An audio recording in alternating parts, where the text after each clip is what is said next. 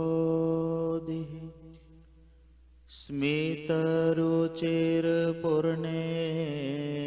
स्मितरुचिर्पूर्णेन्दुवदन प्रफुल्लम्भो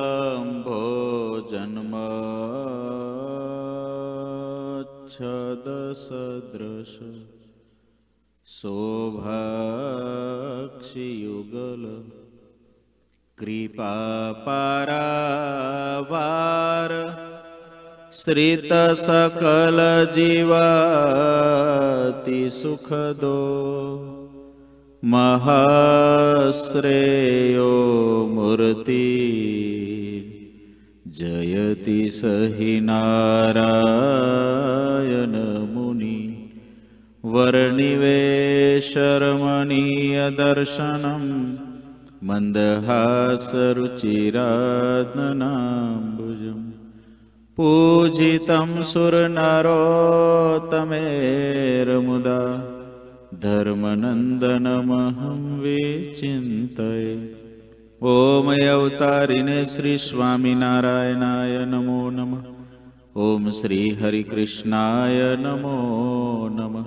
ॐ श्रीपूर्णपुरुषोत्तमाय नमो नमः બોલો શ્રી સ્વામિનારાયણ ભગવાનની, શ્રી હરિકૃષ્ણ મહારાજની જય, શ્રી ઘનશ્યામ મહારાજની જય. બધાય ભક્તોને ખૂબ એથી જય સ્વામિનારાયણ. વાલા ભક્તો, આજે શનિવારની સભા છે. નિત્ય આપણે હરિચરિત્રમ સાગર ગ્રંથની કથા વાર્તાનું શ્રવણ કરતા હોઈએ છીએ. આજે આપણે એક પ્રેમી ભક્ત આ સત્સંગના દીવ બંદરના પ્રેમાબાઈ. એનું એક નાનું આખ્યાન સાંભળવું છે. ભક્તોના આખ્યાન સાંભળીને આપણા જીવનને પાવન કરવું છે. ભગવાનના ભક્તોને ભગવાનમાં કેવું હેત હતું? ભગવાન માટે ભક્તોએ કેવું કરી છૂટવાની ઈચ્છા રાખી? એને આપણે આ પ્રેમાબાઈ એમના આખ્યાન દ્વારા સમજીશું. ભગવાન શ્રીહરિના સમકાલીન નંદ સંતો સત્સંગ કરાવવા માટે ભારતના ખૂણે ખૂણે ફરતા. ભારતનો એક ખૂણો એવો નહોતો જ્યાં ભગવાન સ્વામિનારાયણના સાધુ ન ગયા હોય. એટલું જ નહીં. ભારતનો કોઈ ખૂણો એવો બાકી નહોતો કે જ્યાંથી ભગવાન સ્વામિનારાયણ પાસે સાધુ થવા માટે મુમુક્ષુઓ ન આવ્યા હોય. ભગવાન સ્વામિનારાયણ પાસે દરેક રાજ્યના સાધુઓ હતા. દરેક પ્રદેશના સાધુઓ હતા. જ્યાં જ્યાં મુમુક્ષુઓ હતા અને એ લોકોને જ્યાં જ્યાં ખબર પડી કે કોઈ જીવન મુક્તા પ્રગટ થયા છે, ત્યારે ભગવાન સ્વામિનારાયણની શોધ કરતાં કરતાં મુમુક્ષુઓ આવ્યા છે. ભગવાન શ્રીહરિના ચરણમાં પોતાનું જીવન સમર્પિત કરીને સાધુ થયા છે, ત્યાગી થયા છે સ્ત્રી ધનના ત્યાગી થઈ, આ પૃથ્વી પર વિચરણ કરી ભગવાન સ્વામિનારાયણની ઓળખાણ કરાવી છે. એમાં કૃપાનંદ સ્વામી સદગુરુ ગુણાતીતાનંદ સ્વામી આદિક સંતો ઉના પ્રદેશની અંદર બહુ વિચરણ કરતા. પૂર્ણાનંદ સ્વામી પણ ઉના પ્રદેશમાં વિચરણ કરતા. અને દીવ બંદર ઉના પ્રદેશની અંદર જ આવેલું છે. ત્યાંથી ઉનાથી ઘણું નજીક થાય. એટલે સંતો જ્યારે ઉના જતા, ત્યારે દીવને દીવ બંદરની અંદર પણ સત્સંગ માટે જતા. એ દીવ બંદર ગામની અંદર એક શેઠ પ્રેમચંદભાઈ બખાઈ ખૂબ સારા સત્સંગી હતા. અને પોતે વણિક જ્ઞાતિના હતા. શેઠનો આખો પરિવાર સત્સંગથી રંગાયેલો હતો. આખા પરિવારને સત્સંગ હતો અને એ પ્રેમચંદ શેઠ હતા. એની એક દીકરી હતી. એનું નામ હતું પ્રેમાબાઈ. પરિવારમાં સતસંગનો રંગ નથી, મોડા પડતા તે રંચ. સંત સમાગમ મળ્યો ભારી. મોહ માયાની બેડી તો ભાંગી. સંત સમાગમ મળ્યો ભારી. મોહ માયાની બેડી તો ભાંગી. આખો પરિવાર એવો હતો જે સાધુનો સમાગમ કરતો હતો. જેના જીવનમાં સાધુનો સમાગમ છે અને મોહ અને માયા ઓછા થાય છે, જેના જીવનમાં સાધુનો સમાગમ નથી, એને મોહ અને માયા વધે છે. દુઃખનું કારણ મોહ અને માયા છે. સંતનો સમાગમ કરવાથી સુખી શા માટે થવાય છે? સાધુનો રૂપિયા આપણી પાસે વધી જાય એવું નથી. સાધુનો સમાગમ કરવાથી આપણને આ લોકના બહુ સુખ મળી જાય એવું નથી. સાધુનો સમાગમ કરવાથી જીવનો બ્રહ્મ મટી જાય છે.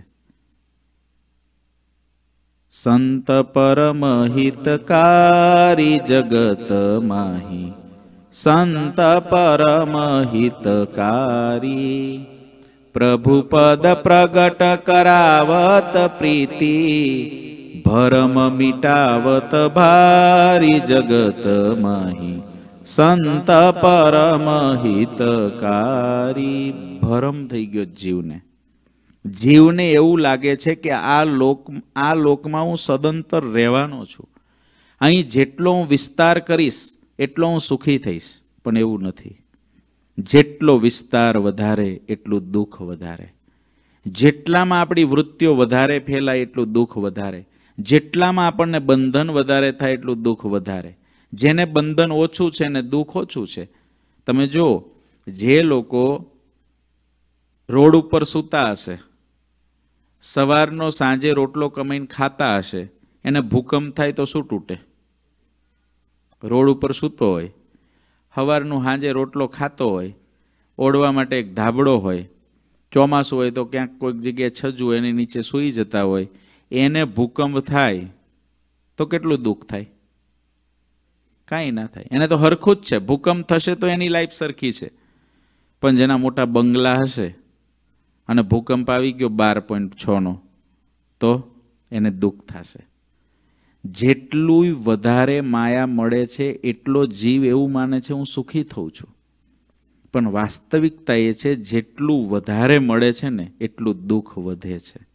માયા જેટલી વધારે મળે, એટલું દુઃખ વધે છે. માયા જેટલી માપની મળે, એટલું દુઃખ ઓછું છે. એ વસ્તુને સમજાવે છે કોણ? ભગવાનના સંત. કથા, વાર્તા કેટલી સાંભળે ત્યારે જીવને એમ થાય કે આ લોકની અંદર ગમે એટલું હશે, પણ છેવટે મૂકીને જ જવાનું છે ને. આ પ્રેમચંદ શેઠનો પરિવાર એવો છે કે જેને સાધુનો સમાગમ જીવથી કર્યો છે. જીવથી કર્યો છે, એના કારણે એ લોકોને મોહ માયાના બંધન નથી. આજે પણ જે પરિવારો જીવથી સત્સંગ કરે છે, એને મોહ માયાના બંધન નથી થતા. ગ્રહસ્થ આશ્રમમાં છે.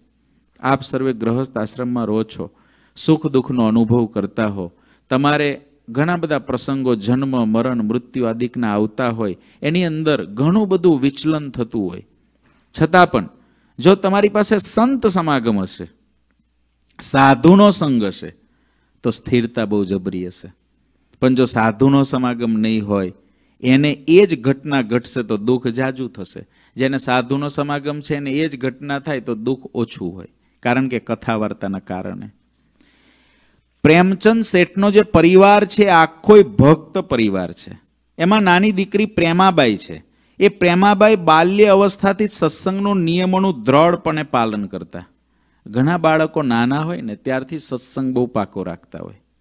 નાની દીકરી હોય, ઘણાની દીકરી હોય, ઘણાના દીકરા હોય, એટલા બધા ગુણ્યલ હોય, એટલો બધો એની અંદર સત્સંગ હોય. તમે તમારા બે દીકરા હોય, એક દીકરી, એક દીકરો અથવા બે દીકરા છે, બે દીકરીઓ છે, નાના હોય ત્યારથી તમે એને સત્સંગ દેતા હો ને તો એવું હોય, બેમાંથી એકને સત્સંગ બહુ જલ્દી ઉતરી જાય. અને એકને એટલો સત્સંગ ના લાગે. એવું પણ થાય. એક જ મા બાપના બે દીક, એક દીકરો હોય ને એક દીકરી હોય, દીકરામાં સત્સંગ બહુ ઉતરી જાય. દીકરીમાં ના ઉતરે, દીકરીમાં જતો રહે, દીકરામાં ના ઉતરે. એક જ પરિવારમાં જન્મેલા છે, તો પણ આવી ઘટના કેમ ઘટે છે? એની પાછળનું કારણ એ છે, કોઈક જીવાત્માના પૂર્વના સંસ્કાર બલિષ્ઠ હોય. એક કોઈક યોગાનું યોગે એટલે કે ઋણાનું બંધનના કારણે આપણા ઘરમાં, એટલે કે તમારા ઘરમાં દીકરા તરીકે આવ્યો છે, દીકરી તરીકે આવ્યો છે, પરંતુ એ બંને આત્મા એની જન્મો જન્મની ભગવાનને મેળવવાની મહેનત જુદી જુદી છે. એટલે એવું થાય, તમારા જ બે સંતાન હોય, તો બે સંતાનમાં એક સંતાનને સત્સંગ બહુ જ ઉતરી જાય ઊંડો. અને એક સંતાનને સત્સંગ એટલો ઉતરે જ નહીં, અથવા તો એ સત્સંગમાં રહે જ નહીં, એવું પણ બને. અને એક ખરેખરો સત્સંગ થઈ જાય. એની પાછળનું કારણ એ છે, એના પૂર્વના સંસ્કારો બલિષ્ઠ છે, એને સાધુનો સમાગમ મળ્યો. જેવી રીતે કોઈ દીવામાં ઘી હોય ઘી હોય તો એને સેજ દીવાસળી મળે એટલે દીવો પ્રગટી જવાનો છે. પણ કોરું રૂ જ હોય અને એમાં અહીંનું જે અમેરિકન રૂ આવે છે એવું હોય, ઘીમાં પલાળો તોય કોરી રહે. અહીંનું રૂ આવે છે ને જે ઓલું મેડિકલનું રૂ આવે ને, એને તમે એની વાટ એકવાર અહીં ખબર નહીં કોઈ લઈ આવ્યું હતું. તે મેડિકલનું રૂ. હવે એની વાટ બનાવવાની તો વાટ પલળે જ નહીં કોઈ રીતે. ગમે એટલું ઘીમાં તમે નાખો તોય ના પલળે. એ દેશી રૂ જોઈએ તો જ વાટ થાય. એવી રીતે કલ્યાણના માર્ગમાં મેડિકલ રૂ આવી ગયો હોય જીવ. તો એને તમે ગમે એટલો એની ઉપર ચડાવો ધોળ, પણ આમ મારો, પિત્તળ ઉપર તમે સોનું ચડાવ્યું હોય, આમ ટચકો મારો, સોનું ઉખડી જાય, પાછું પિત્તળ થઈ જાય. વાર ના લાગે. નાનો હોય ત્યારે તમે એને બધું કરો, લઈ જાઓ, બધું થાય. પણ એના બલિષ્ઠ સંસ્કારો ના રહે. પણ જે જીવાત્માના પૂર્વના સંસ્કારો બલિષ્ઠ છે, જબરજસ્ત બલિષ્ઠ છે, એને કદાચ કુસંગનો યોગ થઈ ગયો હોય ને તો પણ થોડા સમય પછી પાછો એટલો જલ્દી ચડી જાય કે ના પૂછો વાત. કારણ કે એ જીવના પૂર્વના સંસ્કારો પર આધારિત છે. એ તમારે ગ્રહસ્થ આશ્રમમાં ખાસ જાણી રાખવાનું. કારણ કે ઘણી વખત ઘણા ગ્રહસ્થ ભક્તો હોય, માતા પિતાને દુઃખ થાય કે અમારા દીકરા દીકરીઓને અમે બાર પંદર વર્ષ સુધી બહુ સાચવ્યા, ઘણા સાચવ્યા અને સત્સંગની અંદર રાખવા પ્રયત્ન કર્યો પણ પછી રહ્યા નહીં. તો જો એના પૂર્વના સંસ્કાર બલિષ્ઠ હશે ને તો શું થશે? કદાચ એ કોલેજમાં ગયા તો એટલો ટાઈમ એનો સંસ્કાર કદાચ ફેર પડ્યો, પણ ફરીથી પાછો એની માથે જવાબદારી આવશે ને એટલે રિટર્ન થશે. એના પૂર્વના સંસ્કાર હશે તો. કારણ કે એને કુસંગનો ઢોળ ચડ્યો છે, એ ઓરિજિનલ ગોલ્ડ છે. પણ જો ઓરિજિનલ પિત્તળ હશે, તો તમે જે પંદર વર્ષ સુધી મહેનત કરી છે, સોનું ચડ્યું હતું. એ પિત્તળ હતો, મૂળ જીવ પિત્તળ હતો. એટલે ફરીથી એને જ્યારે કુસંગનો યોગ થશે, ત્યારે પેલું સોનું ઉતરી જશે ને પાછું પિત્તળ થઈ જશે. આ પૂર્વના બલિષ્ઠ સંસ્કારો ઉપર બહુ જ આધાર છે. જબરજસ્ત આધાર છે. અને એ બલિષ્ઠ સંસ્કારોનું નિકંદન તો જ નીકળે. એવું નથી કે પૂર્વના બલિષ્ઠ સંસ્કાર હોય તો તો એવું નક્કી થઈ ગયું કે આનું કલ્યાણ થશે ને આનું નહીં થાય. કોઈના નસીબમાં લખ્યું હશે કે આ જન્મે અક્ષરધામમાં જશે ના નહીં જાય. પ્રારબ્ધ આપણું જ્યારે જન્મીએ, ત્યારે આપણે હમણાં જ કર્મની વાતો આવતી હતી હરિચરણ કે જન્મની અંદર જ આપણું મૃત્યુ ક્યારે છે, કઈ જગ્યાએ છે, કેવી રીતે છે, કઈ પરિસ્થિતિમાં છે, લખાઈ ગયું છે પ્રારબ્ધમાં. તો પછી પ્રારબ્ધમાં એવું લખાઈ ગયું હશે ને કે આપણે અક્ષરધામમાં જશું કે નહીં જઈએ? એવું લખાઈ ગયું હશે? ના. એક જ રેખા ભગવાન એવી રાખે છે કે જે આપણા હાથે દોરવાની હોય છે. અને એ રેખા છે ભગવાનને પામવાની. ભગવાનને પામવાની રેખા ભગવાન શું કરે છે? ખબર છે? દોરી અને ખાલી જગ્યા રાખે તારામ તાકાત હોય એટલી દોર. તું દોરીશ, એ પ્રમાણે હું ચાલીશ. ભગવાનનું આવું છે. પુરુષ પ્રયત્નવાળા ઉપર જ ભગવાનની કૃપા થાય છે. બીજા ઉપર થતી નથી. તો અંત્ય પ્રકરણનું ચૌદમું વચનામૃત એની અંદર શ્રીજી મહારાજ એમ કે છે, મોટા પુરુષ જ્યારે બાહ્ય દ્રષ્ટિએ વર્તે, ત્યારે અનેકને સુખ સંકાદિક જેવા કરી મૂકે. મહારાજના શબ્દો છે. મોટા પુરુષ જ્યારે બાહ્ય દ્રષ્ટિએ વર્તે, ત્યારે અનેકને સુખ સંકાદિક જેવા કરી મૂકે. એનો અર્થ એ થયો કે સુખ સંકાદિક જેવો થાય એવો નહોતો. સુખ સંકાદિક એટલે સાધુ. એ સાધુ થાય એવો નહોતો, પણ મોટા જ્યારે બાહ્ય દ્રષ્ટિએ વર્તે અને નજર નાખે, ત્યારે સુખ સંકાદિક જેવો થઈ જાય. તો હવે એમ થાય કે થાય એવો નહોતો, તોય થઈ ગયો, આ થઈ ગયો. તેવી રીતે કરવો જોઈએ?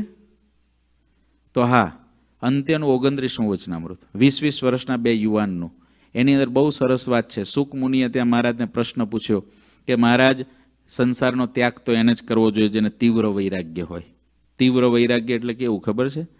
જહા દેખો તહા જલની દિખારા મેરે તો તુમ એક કહી એક આધારા मेरे तो तुम एक ही एक आधारा। रसिक शिरोमणि तुम बिन मोकु। रसिक शिरोमणि तुम बिन मोकु। लगत है जग सुख जरत अंगारा लगत है जग सुख जरत अंगारा मेरे तो तुम એક ही એક આધારા આવું જો વર્તે તો સાધુ થવાનું આવું વેદનું વિધાન છે વેદ આવું કે છે શાસ્ત્રો આવું કે છે સુખમુનિ કે મહારાજ એવું દેખાય છે કે આવું હોય અને સાધુ થાવું તો બહુધા તો એવું કંઈ દેખાતું નથી હેત હોય એ સાધુ થઈ જાય છે તો મહારાજને પછી સુખમુનિ કે, એટલે સુખમુનિનો પ્રશ્ન છે કે મહારાજ, પછી ત્યાગ તો પાર પડે નહીં. કારણ કે એની અંદર વૈરાગ હતો નહીં સાધુ કર્યો. ત્યારે શ્રીજી મહારાજે ત્યાં ઉત્તર આપ્યો છે કે, ભલે વેદમાં જે કીધું એ, પણ જો કોઈ ત્યાગના માર્ગે ચાલ્યો અને જો સાચો થઈને ભગવાનને મોટા પુરુષને મન અર્પે અને એ વ્યક્તિ એવું વિચાર્યા કરે કે હું આવું વર્તીશ, તો ભગવાનને મોટા સાધુ મારી પર રાજી નહીં થાય. આવી જો બીક રાખે તો એનો ત્યાગ પાર અવશ્ય મેવ પડે. આવું મહારાજે અંત્યના ઓગણત્રીસમાં કીધું છે. એટલે હું એ સમજાવવા માગું છું, આ દ્રષ્ટાંત આપીને સાધુનું મેં દ્રષ્ટાંત એટલે લીધું. તમને એવું કે સાધુ કરી દેવાશે સ્વામી, અમને બધાને? ના, એવું નથી. મેં દ્રષ્ટાંત એનું એટલા માટે આપ્યું કે પ્રારંભમાં લખેલું નથી કે આપણે અક્ષરધામમાં જશું. આપણા નસીબમાં નથી લખેલું. આપણે ભગવાનને સદગુરુની સહાયથી આપણું પ્રારબ્ધ બનાવવાનું છે. જો એવું જ હોય કે આ જન્મે અક્ષરધામમાં ના જવાય, નસીબમાં લખ્યું હોય તો જવાય જ નહીં. તો વરતાલના પાંચમામાં કહે નહીં કે સો જન્મની કસર આ જન્મે ટળે છે. નસીબમાં તો શું લખ્યું છે? સો જન્મે શુદ્ધ થશે. એવું છે પ્રારબ્ધ પણ વરતાલનું પાંચમું કે છે, આ જન્મે શુદ્ધ થાય. એનો અર્થ જ એ છે કે અક્ષરધામમાં જવાની રેખા કોઈની લખેલી નથી હોતી, એ જીવ કેટલો પુરુષ પ્રયત્ન કરીને મોટા પુરુષના સહારે ભગવત કૃપાથી મંડે છે, એવો એ ચોખ્ખો થાય. અને ના થાય તો ભગવાન કે કંઈ નહીં, હાલને બે જન્મ વધારે. બે જન્મ વધારે, થોડી વધારે મહેનત કર. એવું કરે ભગવાન, પણ પોતાના ભગતને છોડે નહીં. એટલે હું એ કહેવા માંગતો હતો કે બલિષ્ઠ સંસ્કાર હોય, પૂર્વના બલિષ્ઠ સંસ્કાર. આ જુઓ ને, આ ભગત આપણે બેઠા છે. બરાબર ને? કુશ ભગત, ખુશ ભગત. હવે એને તમે જ્યારે નાનો હતો અહીં આગળ તો જેટલા છોકરાઓ હતા, એની અંદર એ હોય, તો એની ઉપર કોઈને એવી અપેક્ષા ના હોય. મને પોતાની અપેક્ષા નહોતી કે આ આટલો ગંભીરતાથી આ છોકરો આટલી સેવા સત્સંગની કરવા લાગશે. જેવા એના લક્ષણ દેખાતા હતા, એ લક્ષણ પરથી મને એવી આશા નહોતી કે આ સત્સંગ માટે આવી રીતે સેવા કરશે. આ બેઠા નીલ ભગત. અત્યારે વચનામૃતનું એનું રોજ વર્ત, વચનામૃતના પાંચ મંતવ્ય હોય ને, ડેલી હરિચરણ સાગરની કથા પૂરી થાય એટલાના દસ મંતવ્ય મારા ફોનમાં આવી જાય. દસ મંતવ્ય. ડેલી. એક દિવસ ખાલી નહીં. સવાર પડે એટલે વચનામૃતના દસ મંતવ્ય મારા ફોનમાં આવી જાય. એક દિવસ ખાલી નહીં. Single day. છેલ્લા લગભગ છ મહિનાથી હું માર્કિંગ કરું છું. હવે એના લક્ષણ જો પૂર્વના જોવે તો કોઈને ખબર ના પડે કે આટલો બધો દ્રઢ થઈ જશે. બરાબર? પણ થઈ ગયું. તો થઈ ગયું શું એના નસીબમાં લખ્યું હતું? ના, એના નસીબમાં નહોતું લખ્યું. એના પહેલા આપણને સાધુ મળી ગયા હોય. એને મળ્યા, એના પહેલા સાધુ મળી ગયા હોય. એને સમજાયું મહારાજનું સ્વરૂપ, એના પહેલા આપણને સમજાઈ ગયું હતું. એને જે સાધુનો મહિમા સમજાયો, એના પહેલા આપણને સમજાઈ ગયો હતો. આપણી એની પાછળ ઉજાગરા જેટલા થયા હોય, એની, એના કરતાં વધારે ઉજાગરા આપણી પાછળ થઈ ગયા હોય સાધુને. તો પણ એનું રિઝલ્ટ મળવા લાગ્યું. આપણું રિઝલ્ટ ના મળે. તો કારણ એટલું જ હોય, એનો પુરુષ પ્રયત્ન ચાલુ થઈ ગયો, આપણો ના થયો. જે દિવસે આપણે પુરુષ પ્રયત્ન ચાલુ કરીશું એટલે રિઝલ્ટ ચાલુ. આ સીધો જ હિસાબ છે. આજે અમુક અમુક હોય ને, તો એની માટે આપણને થાય કે ના ભાઈ, આની અંદર તો સત્સંગ હોય જ અને આની અંદર ઉતરે જ. એવા આપણને ઘણા યુવાનો ઘણા ભક્તો એવા દેખાય કે જેની માટે કંઈ બીજું આપણે વિચારવાનું હોય, આપણને ખબર હોય કે આ સરસ જ થવાના છે. પણ આ તો મેં કેવા પાત્રો બતાવ્યા કે જેની અંદર આપણને આશા ના બંધાય કે આ થશે કે નહીં થાય અને થઈ જાય. એ થઈ જાય એ ભગવત કૃપા. એટલે હું એટલું જ સમજાવવા માગું છું, કલ્યાણના માર્ગમાં પુરુષ પ્રયત્નવાળા થાવું. એકલું ભગવાનના માથે ના નાખવું, એકલું સદગુરુના માથે ના નાખવું, એકલું સાધુના માથે ના નાખવું. આપણો પ્રયત્ન પણ મજબૂત હશે. આપણે કલ્યાણના માર્ગે ચાલવા માટેની ખેવના ધરાવતા હોઈશું તો એટલો ફાયદો આપણને થશે. નહીં ધરાવતા હોય તો નહીં થાય. માનો કે અત્યારે શનિ રવિ છે, ફ્રી છો ભક્ત ચિંતનના પાઠ કરો, નવરા પડો એટલે બીજી વાત ના કરો, હાલો ભજન કરો વધારે, એવું કરશો તો એવો ફાયદો થશે. એવું નહીં કરો તો એવો ફાયદો નહીં થાય. હવે જે કાંઈ કરવાનું છે તો આપણે જ કરવાનું છે. આપણે કરીશું તો ફાયદો થશે. એટલે અક્ષરધામમાં જવાની રેખા હાથમાં નથી હોતી, પ્રારંભમાં નથી હોતી.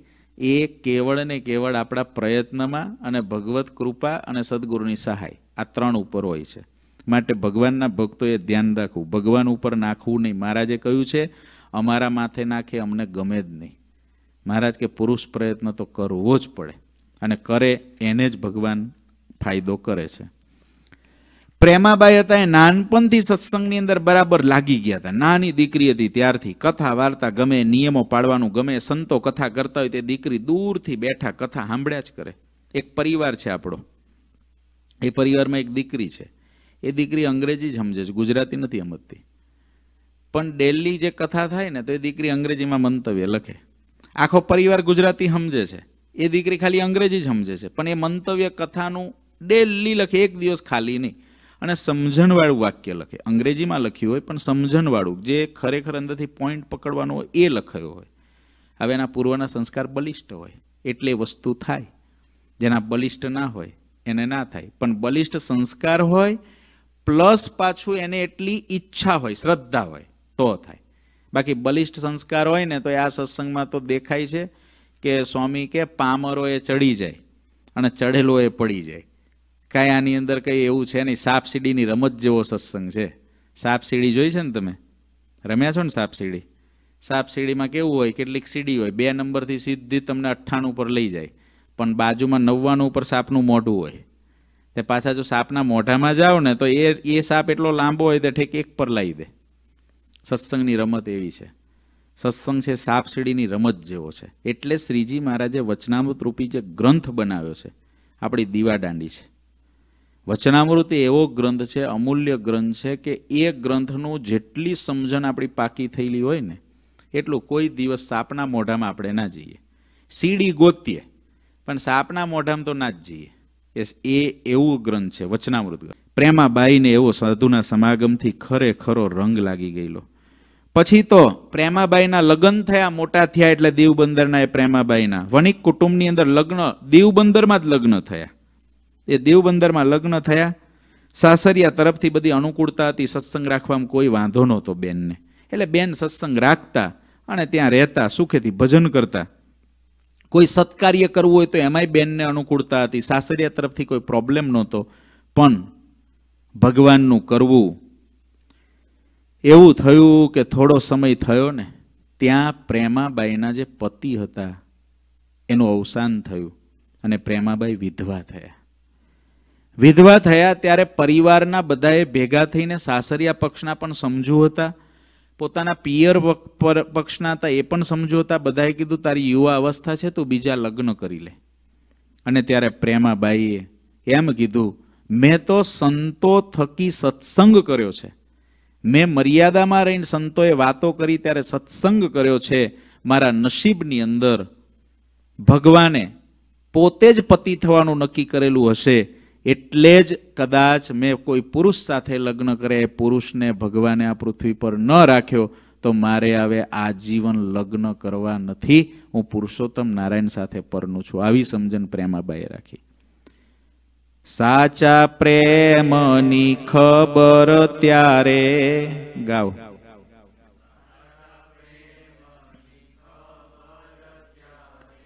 જીવનમાં દુઃખ આવે જ્યારે.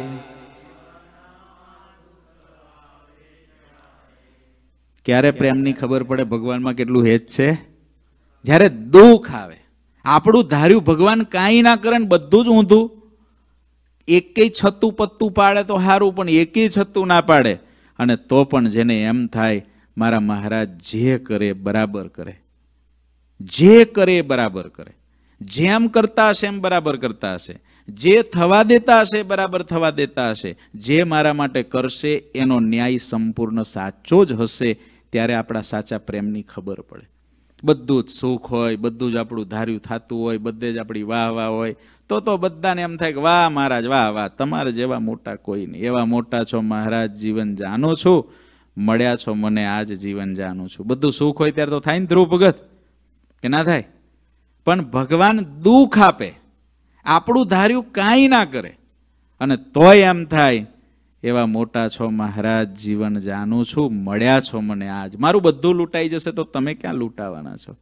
તમે તો મારી સાથે છો ને, મારી સંપત્તિ તો તમે છો. બાકીનું તો આવે ને જાય. બાકીનું તો આવે અને જાય. બાકીનું કાંઈ રૂપિયા આવ્યા તો એ આવેલા જવાના છે, બંગલા આવ્યા આવેલા જવાના છે, કોઈને કીર્તિ મળી અમારા જેવાને, કાંઈ વખાણ મળ્યો હોય તો આવેલા જવાના છે, એ તો બધું જવાનું જ છે. પણ મારા તમે ભેગા રહો.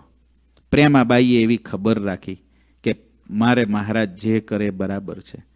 સાચા પ્રેમની ખબર ત્યારે જીવનમાં દુઃખ આવે જ્યારે હરિને પતિ માનીને ભજે, સંસાર સુખ ના વૈભવ તજે પ્રેમાબાઈએ નક્કી કર્યું, બધા જ સંસારના વૈભવને તજવા છે અને ભગવાન શ્રીહરિને પતિ માનીને ભજવા છે.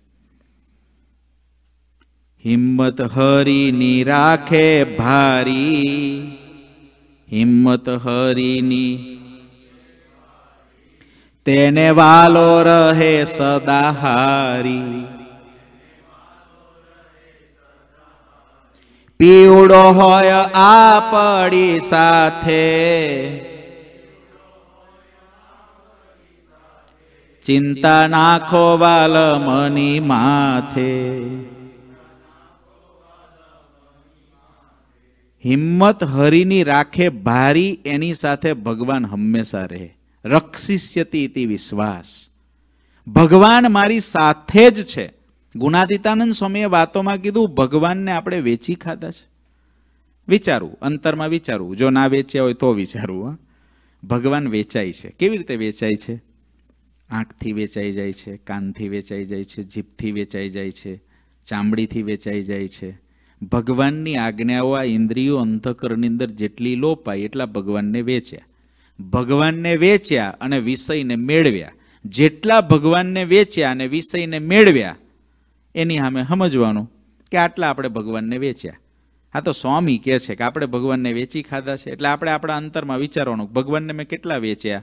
આજે આખા દિવસમાં ભગવાનને કેટલા વેચ્યા?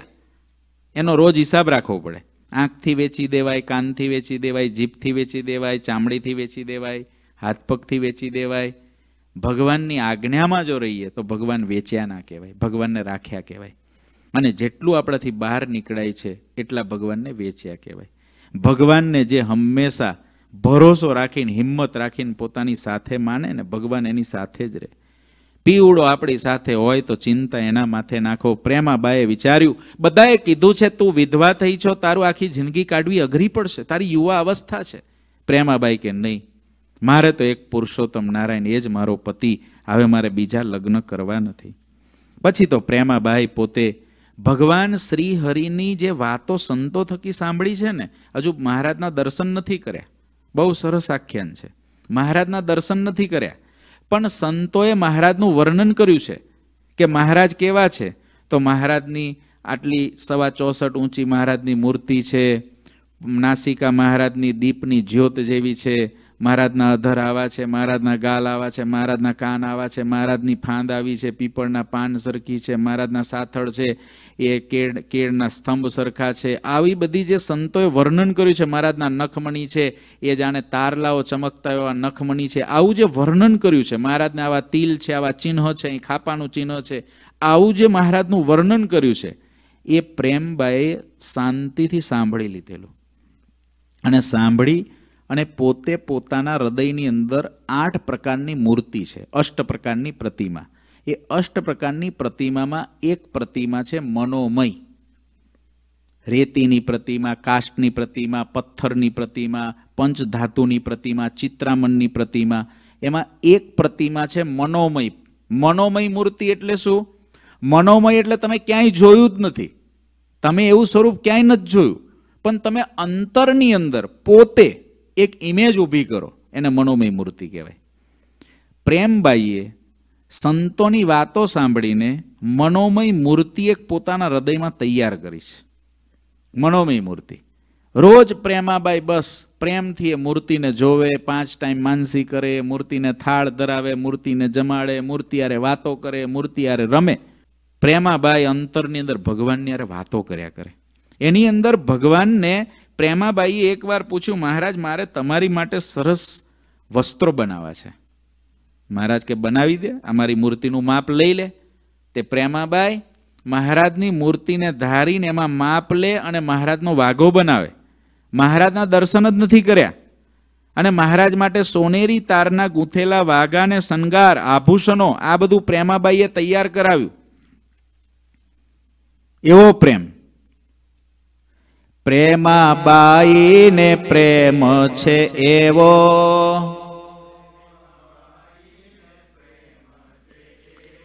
દર્શન વિના મૂર્તિ દેખે તેવો.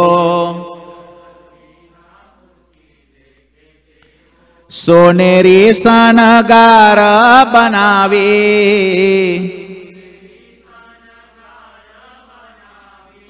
વાટ જુએ છે વાલાની દાડી વાટ જુએ છે વાલાની દાડી પ્રેમાબાઈને કથા વાર્તામાં એવું સાંભળેલું કે જે ભગવાનને સાચા દિલથી પોકારે ને તો ભગવાન ત્યાં દોડીને જાય. એટલે આ એવું વિચારે છે કે ભગવાન ચોક્કસ દીવ બંદર આવશે. મહારાજ ચોક્કસ દીવ બંદર આવશે અમારા વાઘા, મારા ઘરેના મહારાજ અંગીકાર કરશે. હવે એને જે બનાવ્યું ને, એ વાત પાછી ફેલાઈ ગઈ કે પ્રેમાબાઈએ એક સરસ મજાના શણગાર બનાવ્યા છે, સોનાના આભૂષણ થોડા બનાવ્યા છે, પોતાના પાસે આભૂષણ હતા પોતાના, એ તોડીને મહારાજ માટે બનાવ્યા. આશ્ચર્યની વાત કહેવાય ને કે મહારાજને જોયા વિના મહારાજનું માપ આખું કાઢવું એ કેવું કહેવાય? એવા પ્રેમાબાઈ એને આ બનાવ્યું. એમાં રાજુલાનો એક મૂળો રાજગર હતો. ભગવાન સ્વામિનારાયણ વખતે ભગવાન સ્વામિનારાયણનો ડુપ્લિકેટ બનવાવાળા બહુ હતા. કારણ કે મહારાજ બની જાઓ ને એટલે બહુ મજા. મહારાજ બની જાવ એટલે મજા જ મજા હતી ત્યારે. હવે એ વખતે કંઈ આવા આ જમાના હતા ને આ સોશિયલ મીડિયાના કે અત્યારે ખરેખર ક્યાં છે ભગવાન? એટલે મહારાજ હોય ગઢપુરમાં અને આ મૂળો રાજગર શું કરે? મહારાજની જેવી ઘોડી લે, મહારાજની જેવી પાક પહેરે, મહારાજના જેવી જ આમ લાંબી ચાળ નાખે અને જે ગામડાઓના ભોળા લોકોએ મહારાજના દર્શન ન કર્યા હોય, ત્યાં જઈને એવું કે, હું સ્વામિનારાયણ પોતે જ છું. મહારાજ જેવું બોલે, મહારાજ જેવું વર્તે. એટલે બીજા લોકો જે ભોળા લોકો હોય, એને એવું જ લાગે કે આ ભગવાન સ્વામિનારાયણ જ હશે, કારણ કે દર્શન જ નહીં કરેલા કોઈ દી. એવા લોકો ઘણા હતા, સંતોએ વાતો કરી હોય, સત્સંગ થઈ ગયો હોય. પણ મહારાજ કેવા છે? એ દર્શન ન કર્યા હોય. આ રાજુલાનો મૂળો રાજગર દીવ આવ્યો. ઠગ વિદ્યામાં પ્રવીણ હતો. બીજા દ્વારા પ્રેમબાઈની વાત જાણી ભગવાન સ્વામિનારાયણ માટે વસ્ત્ર અલંકાર તૈયાર કર્યા છે. આથી વસ્ત્ર અલંકાર પડાવી લેવા સ્વામિનારાયણ ભગવાનનો વેશ લઈને ઘોડી ઉપર બેસીને પ્રેમબાઈને ઘેર ગયો.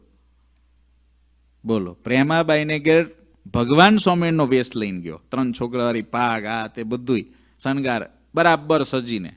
અને પ્રેમાબાઈને જઈને એને ઘેર ગયો ને, પછી ઘેર આવીને કે, પ્રેમાબાઈ, જય સ્વામિનારાયણ, કેમ છો?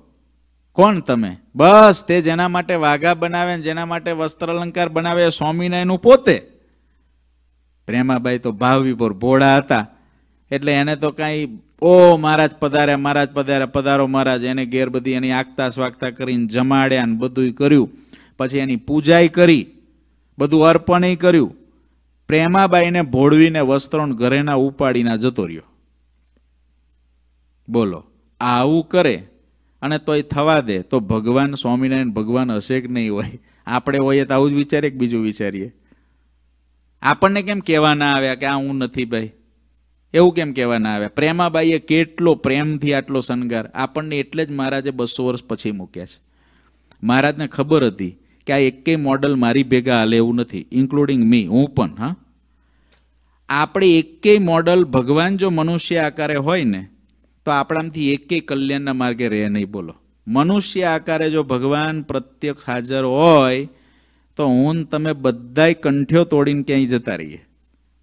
કેટલું અઘરું છે, મનુષ્ય આકારે ભગવાન હોય ત્યારે નિશ્ચય રાખવો બહુ કઠણ છે. બહુ કઠણ છે તો ગોપાળન સ્વામી મુક્તાનંદ સ્વામી રાખી શકે અને પર્વતબેન દાદા ખાચર જેવી સમજણવાળા રાખી શકે. આપણા જેવી સામાન્ય સમજણવાળા તો હાલે જ નહીં. કે હવે ભગવાન તો અચાનક અહીં સિંહાસનમાંથી મનુષ્ય આકાર હોય તો અહીં આવીને બેઠો હોય ને અહીં ઉતરીને રોટલો દહીં જમવા લાગે. અને એટલામથી બાકી ના રહે પાછા ગમે એમ નાખે ને ગમે તે ગંદુ કરે. અને એટલું એટલામથી બાકી ના રહે તો અહીં લઘુશંકા કરવા બેસી જાય. લો, હવે શું કરો તમે? ભગવાનનું કાંઈ નક્કી નહીં. લઘુશંકા કરવા અહીં બેસી જાય. એ જ લઘુશંકા કરે. તો તમે વિચારો, બાથરૂમમાં જવાનું નહીં ક્યાં? ભાઈ, અહીં બેસી જાય, એનું કાંઈ નક્કી નહીં. હવે એવું કરે તો આપણાથી કેટલા નિશ્ચય રહે કે આ ભગવાન છે? કેટલા રે? હાલો, આપણે ગમે એટલા ચમત્કાર જોયા, દહ ચમત્કાર જોયા. તોય પણ જો આવું ચરિત્ર કરે, વસતા ખાચરે કેટલા ચમત્કાર જોયા હતા? તોય નથી રહ્યું ડાગલું ઠેકાને તોય ખસી ગયું. એના એના જ ઘરમાં આટલા ઉત્સવો કર્યા, દિવાળીનો ઉત્સવ એને ત્યાં થયો, દીપોત્સવ થયો. બાર બાર વચનાવત બોલાના, કેવા કેવા, ભારે ભારે વાતો એ વચનાવતોમાં થઈ. કાર્યાણીના એકથી બાર વાંચો, કારણસર એ ટળી જાય બારમું આવતા સુધીમાં. એવી વાતો કરી. બરાબર? તોય પણ વસતા ખાચરને ધક્કા લાગી ગયા. મનુષ્ય ચરિત્રથી તો ભગવાનનું મનુષ્ય ચરિત્ર તો બહુ ભારે છે.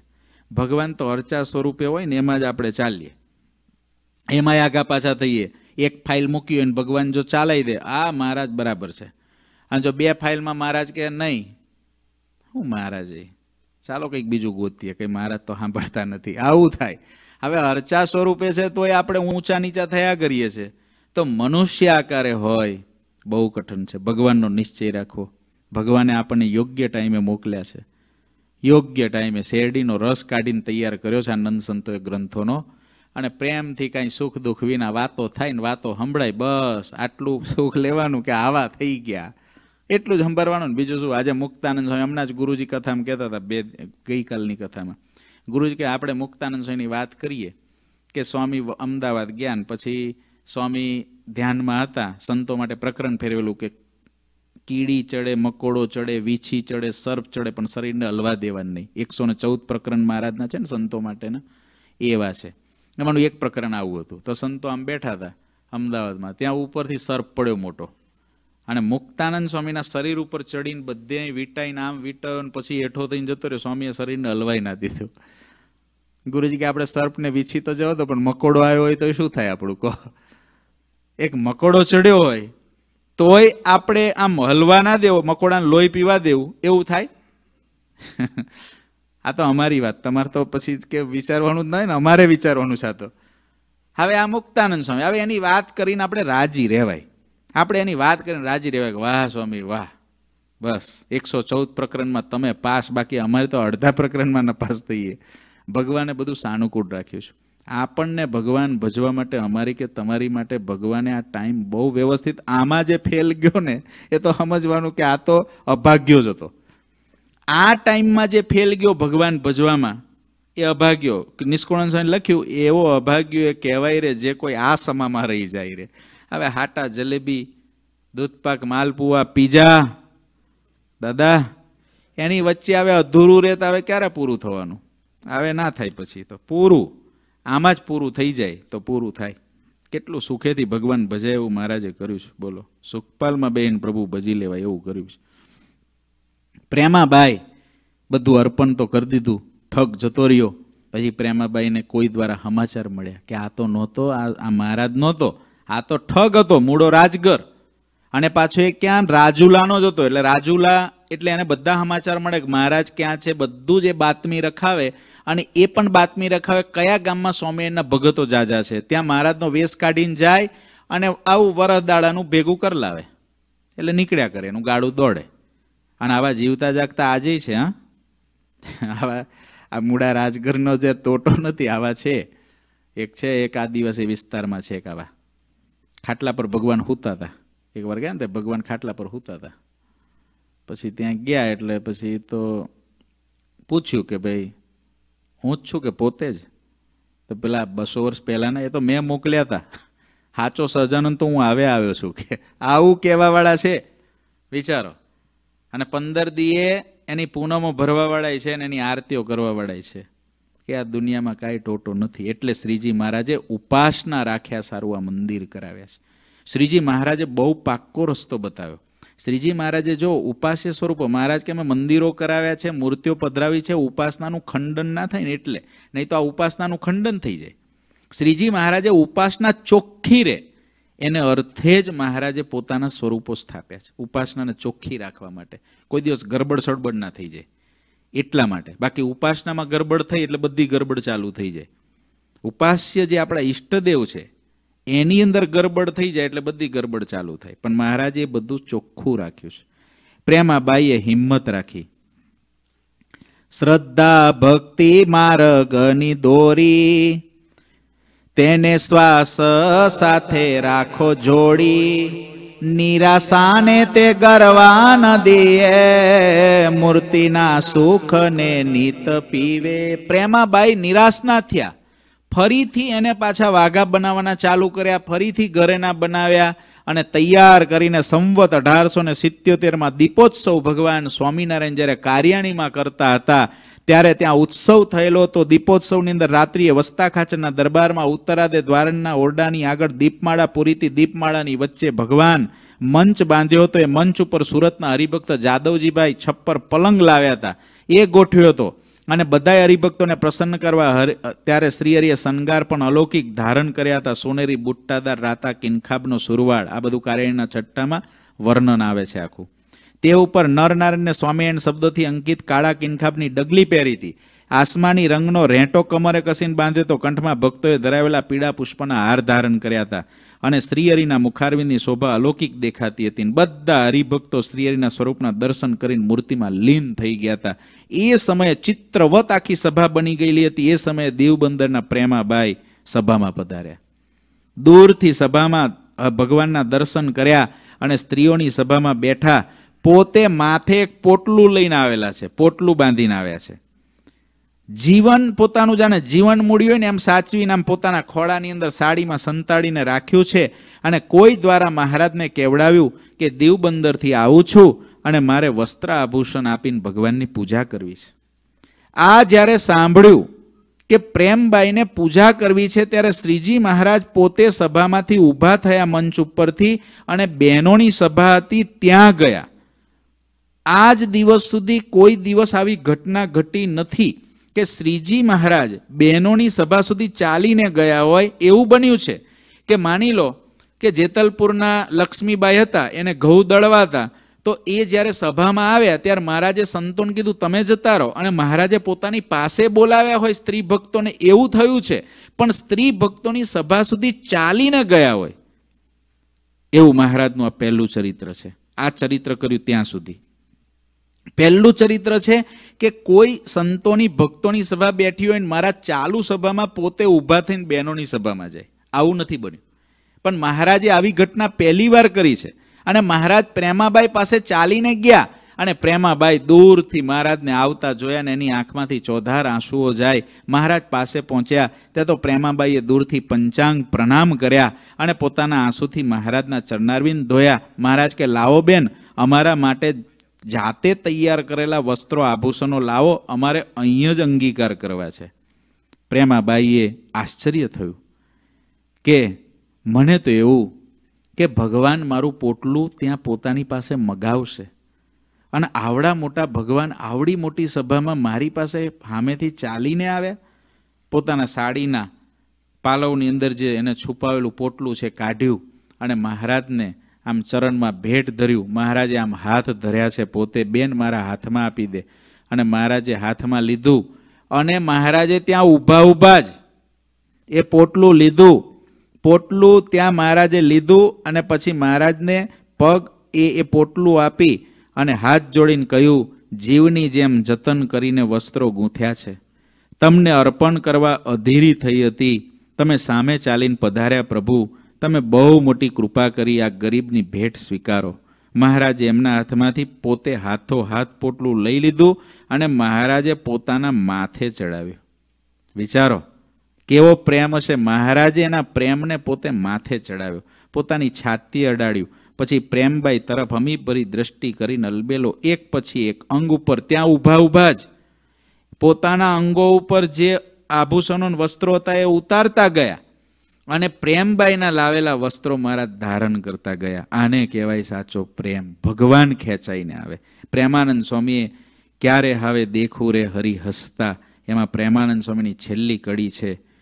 પ્રેમાનંદ, આગે જ્યારે ગાવે, પ્રેમાનંદ, આગે જ્યારે ગાવે. આવે, ઓરા ઓરા ખસતા રે આવે, ઓરા ઓરા ખસતા રે ક્યારે હવે દેખું રે હરી હસતા પ્રેમાનંદ સ્વામી એમ કે છે, હું જ્યારે ગાવ ત્યારે મહારાજ મારી પાસે ખસતા ખસતા આવે. આઠ પદ સ્વામીના પૂર્ણ થાય અને મારા ઢોલિયા પરથી ઊભા થઈને સ્વામીના ગોઠણથી ગોઠણ દબાવીને બેસી ગયા હોય.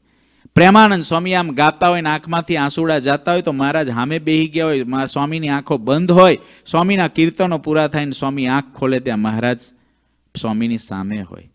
આવા પ્રસંગો આપણા નંદ સંતોના છે. નંદ સંતો ધર્મશાળાની અંદર પણ બેઠા રાત્રે ભજન કરતા, કીર્તન કરતા. મુક્તાનંદ સ્વામીનું પહેલું જ વચનામૃત મુક્તાનંદ સ્વામીનું ત્યારે સ્વામી કીર્તન ગાય છે અડધી રાત્રે. ભજન કરે છે. આપણે એવું વિચારીએ કે હજુ તો ત્રણ વાગ્યા છે. સૂઈ જાઓ.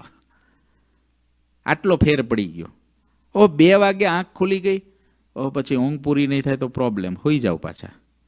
ઊંઘ નથી આવતી તોય ગલોટિયા ખાતા ખાતા પણ પડ્યા રહીએ. પણ બે વાગે ઉઠીને ભગવાનને પોકારીએ જ્યારે આખી દુનિયા સૂતી હોય અને ત્યારે ભગવાનને પોકારીએ ને તો ભગવાન ક્યારેક એની ઝાંખી કરાવે. રાત્રે ઊંઘ નથી આવતી, ઊંઘ ઉડી ગઈ. બેઠા બેઠા ભગવાનનો જપ કરીને, ભગવાનનું ભજન કરીએ, ભગવાનને કીર્તન કરીને પોકારીએ. પંથ પિયા પરદેશી કો, ઠાડી અટારિયા હે રે રે. सुन्दर श्रीगणश्याम की एक पगमाला रे। प्रेमानन्द के नाथ रे प्रेमानन्द के नाथ वरे कब आओगे मेरे रे रे? कब आओगे मेरे रे पंथ पिया परदेसी को ઠાડી અટારિયા હે રે રે અડધી રાત્રે આપણી ઊંઘ ઉડી જાય અને ભગવાનને આપણે પોકારીએ કે હે પ્રભુ અટારી એટલે આ બ્રહ્માંડ છે ને આખું બ્રહ્માંડ એ બ્રહ્માંડથી પર અંધકાર છે જેને અલોક કહેવાય છે. વચનામૃત પ્રથમનું ત્રેસઠમું. આખા યુનિવર્સને ફરતો એક અંધકારનો પોટ છે આખો, માયાનું તમ. અને માયાના તમથી પર પ્રકાશ છે, જેને ચૈતન્ય સૃષ્ટિ કહેવાય છે. અને ચૈતન્ય સૃષ્ટિમાં શ્રેષ્ઠમાં શ્રેષ્ઠ ધામ, એ અક્ષરધામ છે. એ અક્ષરધામના તખત ઉપર ભગવાન બેઠા છે. આમ તો એ તખત હૃદયમાં જ છે. અંતરદ્રષ્ટિ કરીએ તો અણુ માત્ર ભગવાનને ભગવાનના ધામ છેટા નથી પરંતુ એક પ્રકારનો ભગવાનમાં હેત કરવા માટેનો આ નંદ સંતોનો લખેલો વિયોગનો એક પત્ર છે કે અહીં કીધું, પંથ પિયા પરદેશી કુ ઠાળી અટરિયા હેરે રે. અટરિયા એટલે બારી. અટરિયા એટલે બારી.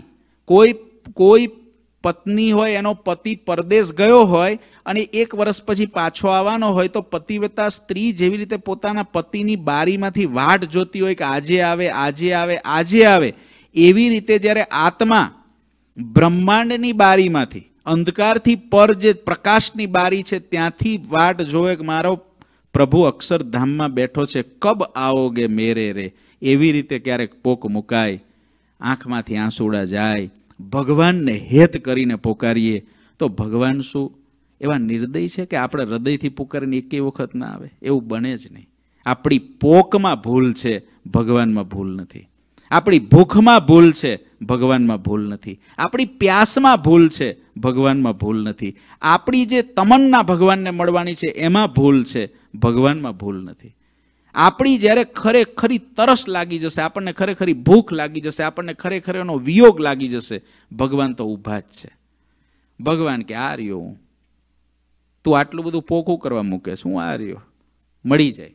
પ્રેમાનંદ સ્વામીને મળ્યા, મુક્તાનંદ સ્વામીને મળ્યા, ત્યાર પછી મોટા મોટાને મળ્યા. આજે પણ મળે છે. જેવી પોક મૂકે છે અને આજે પણ મળે છે. તો ભગવાન તો છે જ. માટે પ્રેમબાઈ એના પ્રેમને ભગવાને નિરખ્યો છે. ભગવાનના પ્રેમી ભક્ત થવું જોઈએ. જ્ઞાન છે ને એ જ્ઞાન દ્વારા કરવાનો છે પ્રેમ. જ્ઞાન દ્વારા જો આ વચનામૃત છે, તો એ જ્ઞાન છે. તો પંથ પિયા પરદેશી કુ ઠાડી અટરિયા હેરે રે, તો એને સમજવું હોય. તો આ મારી ભાવના છે. આવો જ અર્થ થાય એવો નહીં, પણ આ મારી ભાવના છે કે વચનામૃત છે તો વચનામૃત આ બ્રહ્માંડ છે, એક આખું આ મોટું કારખાનું છે, આમાં ભગવાને આત્માને નાખ્યો છે અને આની બારી કઈ જગ્યાએ છે? તે પેલું અંધારું પૂરું થાય ત્યાં બારી છે. એ બારીમાંથી જોઈએ તો જ દેખાય. બાકી બીજે તો ક્યાંય દેખાય એવું જ નથી. અંધારું જ અંધારું છે. એ મારી ભાવના છે. મેં એનો અર્થ એવો કર્યો. કોઈને અર્થ બીજો પણ દેખાય. પ્રેમાનંદ સ્વામીએ કર્યો છે આખો જુદો હશે. પણ એવી રીતે ભગવાનમાં હેત કરવા માટેના પ્રયત્નો કરવા જોઈએ. જીવન થોડું છે અને આપણે ભગવાનમાં ચોંટીને હેત કરી દેવાનું છે. ભગવાનમાં ચોંટી જવાનું છે. બીજા બધા જ આ લોકના બધા જ સુખ દુઃખ, આ લોકના માન અપમાન, આ લોકની અંદર સ્તુતિ, નિંદા બધાથી પર થઈ એક ભગવાનમાં જોડાઈ જવું, એ કામ કરી લેવાનું છે. અને તમારે પણ એ કરવું પડે. યુવા અવસ્થામાં કરશો તો પાછળ થશે. અત્યારે નહીં કરો, પાછળ કાંઈ નહીં થાય. અત્યારે જેને કર્યું, એને પાછળ ચોટેલું રહેશે. અત્યારે ચોંટવાનું રહી ગયું, પાછળ ચોંટવું મુશ્કેલ. કારણ કે આખી જિંદગી ગ્લ્યુ લગાયો જ નહીં. અને પછી છેલ્લે ગમે એટલા ગ્લ્યુના ડબ્બામાં બોળો ચોંટે નહીં. એ ગ્લ્યુ લગાયા કરવો પડે. તો એ ટાઈમે જ્યારે ચોંટવાનું હોય ત્યારે ચોંટી જાય. પ્રેમાબાઈએ ભગવાનને પોટલું આપ્યું. મહારાજે ત્યાં જ પોટલું ખોલીને વસ્ત્ર અલંકાર ધારણ કર્યા. હાથો હાથ લીધું છે પોટલું. પ્રેમે વેચાય જાય પાતળીઓ. ગોપીના પ્રેમને કોને કળિયો? સામે ચાલીને માંગે છે માવો. વસ્ત્રો આભૂષણ મારા લાવો. સામેથી માગી લીધા. હાથો હાથ લીધું છે પોટલું. માની ઘરે મન રાખ્યું મોકળું. સભામાં વસ્ત્રો ધારણ કરી. દર્શન દીધા મંચ પર હરખી. ત્યાં બધા પેલા વસ્ત્રો ને ઘરેના ધારણ કર્યા પ્રેમાબાઈ ને કે ફોટો પાડી લે, હાલ તું પેલા. સૌથી પહેલો તને ચાન્સ કારણ કે તું લાવી છો ને, એટલે મહારાજે ન્યા ઊભા ઊભા પ્રેમાબાઈ ને પેલા દર્શન આપ્યા. એને કીધું, તારે જેટલો વીડિયો ઉતાર લેવો હોય ઉતાર લે હૃદયમાં. આનું ધ્યાન કરવાનું છે. પ્રેમાબાઈએ બધું મહારાજની મૂર્તિ નિરખીને પોતાના અંતરમાં ધારી લીધી. હમણાં બહુ સરસ સરસ અહીં મહારાજના શણગાર થાય છે. એક એક દર્શન. મને તો હમણાં છેલ્લે જે થયા ને, મને સૌથી વધારે હમણાં છેલ્લા સ્પર્શી ગયા. એ શ્રાવ આપણે દસમ હતી ને, અષાઢ સુધી દસમ, મહારાજ વન વિચરણમાં જતા હતા ને. એ મને દર્શન હમણાં જ્યારથી કર્યા છે ને, ત્યારના બીજા દર્શન હમણાં ભૂલાઈ ગયા છે, બધાય. આમ મને ધ્યાન હરિકૃષ્ણ મહારાજનું છે, એટલે મને મહારાજમાં એ દેખાય, કારણ કે પહેલેથી એ ધ્યાનમાં લાગી ગયા, એટલે પણ એ જે દર્શન હતા ને મહારાજના, બહુ જબરજસ્ત બહુ ગમી ગયા મને. કારણ કે એમાં તિલ ચિહ્નો હતા, મહારાજને એટલા સરસ રીતે ધ્યાન સ્વામી મહેનત કરીને ચોંટાડ્યા હતા. અને એનો વીડિયો સરસ એક છે ને, બને એનો આખો વીડિયો બનાવી દો. બહુ થઈ ગયો? બહુ સરસ એક વીડિયો બનાવી દો. બહુ સરસ છે, ધ્યાન કરવા લાયક. એવું ભગવાનના સ્વરૂપને વારે વારે જોયા કરું. ફોનની અંદર છે ને, આપણી આપણી ચેનલ પર પડ્યા હશે એવા વીડિયો, એ બધા ફોનમાં નાખીને બસ એને સળંગ એક આખી બનાવી દેવાની, એક એક દોઢ કલાકની ધ્યાનની એટલી પટ્ટી જ બનાવી દેવાની. અને બસ એને પછી જોયા કરવાના દર્શન કર્યા કરવાના મૂકીને એકાંતમાં બેન કાનમાં નાખીને કંઈક ભગવાનનું કીર્તન, કંઈક મ્યુઝિક કંઈક મૂકીને બસ દર્શન કર્યા કરો ફોનની અંદર. આટલું તો ભગવાને અત્યારે કૃપા કરી છે. ભગવાને આપણી પર આટલી તો દયા કરી છે. આ પહેલાંના પ્રેમાબાઈ ને આ બધા ભક્તો પાસે ક્યાં આવા સાધનો હતા? એને દર્શન કર્યા હોય, હૃદયમાં ઉતાર્યા હોય ને એને યાદ રાખવાના. આપણે તો આમ ખાલી જોયા જ કરવાનું સામે. અને કેટલા બધા પોઝ બદલાય? આપણને ફૂલડા મૂકી આપે થોડા બાજુમાં. આપણે બધે ફરવા જોઈએ ને પાછું. એટલે થોડા ફૂલડા મૂકે, થોડી કંઈક ડિઝાઇન મૂકે, ઉપરથી કંઈક પાણી પડતું એવું મૂકે, પહાડ મૂકે, એટલે આપણને થોડું વધારે ખેંચાણ થાય. બાકી એ બધાની જરૂર શું છે? પણ એ બધાની જરૂર એટલે છે કે આપણે એવા જ છીએ એટલે. બાકી તો ભગવાન સિવાય કશી જરૂર નથી. ઘણા ભક્તોને ભગવાન સિવાય બીજું બધું હોય ના ગમે, એને ભગવાનનું જ ગમે. પણ આ બધું બહુ ભગવાનમાં ચોંટવા માટે બહુ સારું છે. એવું. એ અષાઢ સુધી દસમના જે દર્શન કર્યા અમે, એ મને હજુ ભૂલાતા જ નથી. આટલા દિવસથી હજુ ભૂલાતા નથી. એ દર્શન એવા એ દિવસે થઈ ગયા. ઘણા બધા મહારાજના શણગાર થતા હોય ત્યારે, પણ અત્યાર સુધીમાં આટલા વરસ થયા ને પીવડા ઘનશ્યામ મહારાજને બેસાડ્યા ત્યારથી, એમાં મને સૌથી વધારે આમ બહુ જ સ્પર્શી ગયા હોય. એવા દર્શન જો કોઈ ને તો એ દર્શન. કારણ કે એમાં મહારાજને જે ટીબકડી બધી તિલ લગાવ્યા હતા ને, એટલે વધારે મને. કે મહારાજનું સાંગ ધ્યાનનું સ્વરૂપ હતું, એટલે વધારે મને એમાં એ લાગ્યું. બહુ સરસ હતું. અને બહુ સરસ મહારાજને શણગાર્યા હતા એવા દર્શન કર્યા કરવાના. મહારાજની હારે આપણે વન વિચરણમાં નીકળી જવાનું ચાર મહિના. મનો મન. રોજ મહારાજ હારે વન વિચરણની અંદર માનસી પૂજા કરવાની. ચાર મહિના તો અત્યારે મહારાજ વન વિચરણમાં છે ને? મહારાજને હારે વન વિચરણ. વન વિચરણ બધું હૃદયની અંદર પ્રકાશને મધ્ય વન વિચરણ. બહારનું વન નહીં, અંદરનું વન. અને મહારાજને હારે વન વિચરણ કરવાનું મહારાજને જમાડવાના, કારણ કે મહારાજ ભૂખ્યા કેટલા થાય ચાર મહિનામાં? આ વન વિચરણમાં. એટલે મહારાજને વારે વારે જમાડ્યા કરવાનું. મહારાજને કહેવાનું, એ વન વિચરણ જુદું હતું, આ તો લક્ઝરિયસ વન વિચરણ અમારી ભેગા તો. બધું મળશે તમને. પેંડા મળશે, મેવા મીઠાઈ મળશે, પાંચ પાંચ દિના ઉપવાસ નહીં કરવા પડે, બે ભાન નહીં થવું પડે. બધું મળી રહેશે. એમ મહારાજની હારે રમતા રહીએ. ચાર પાંચ મહિના સુધી ભગવાન પુલ આશ્રમના એક એક વર્ષ થઈને મહારાજ પુલ આશ્રમ પહોંચે આપણે વહેલા પહોંચાડી દેવાના. આ ચાર મહિનામાં આખી વન વિચરણ પતાવીને લોજ સુધી પહોંચાડી દેવાના. તો મહારાજ પુલ આશ્રમ જાય તો આપણે ચાર મહિના મહારાજ જ્યારે પુલ આશ્રમમાં સેવા ના કરીએ, દસ પંદર દિવસનો પીરિયડ રાખીને પુલ આશ્રમમાં જ મહારાજની માનસી પૂજા, મહારાજને ન્યાજ જમાડવાના, મહારાજને કહેવાનું મહારાજ, તમે તપની લીલા કરો, દર્શન આપો મને, પણ જમી લેવાનું હું જમાડું ત્યારે. વાંધો નહીં, હું તમારી સેવામાં. અને મહારાજની ભેગા પુલ આશ્રમ જઈએ, મહારાજ માન સરોવર જાય મહારાજની હારે માન સરોવર જઈએ, મહારાજ અહીં હમણાં સ્નાન કરવા આવ્યો તો. અહીં આગળ મહારાજ, લો, અહીં ત્યારે જ કશું નહોતું, હું તમારા માટે સરસ મજાનો બંગલો બનાવી દઉં, મહેલ બનાવી દઉં મહારાજ રોવામાં. પણ આ બધું હૃદય આકાશમાં બધું હૃદય આકાશની અંદર એમ મહારાજની હારે રમતા રહીએ. તો આ દુનિયાની અંદર ક્યાં આપણે અહીંયા આગળ થોડું જીવવું, આમ આંખ બંધ થશે ને તો આવું બધું જોયું હશે ને તો એની અંદર ક્યાંય મૂર્તિમાં ડૂબી જશું. આની અંદર તો પાંચ આ દુનિયામાં વાર કેટલી લાગશે? આ ક્ષણ ભંગુર શરીરને તૂટતા શું વાર? એક એટેક આવ્યો જતું રહેશે કેન્સર થયું જતું રહેશે એક્સિડન્ટ થયું જતું રહેશે, ક્યાંક પડશે ને જતું રહેશે.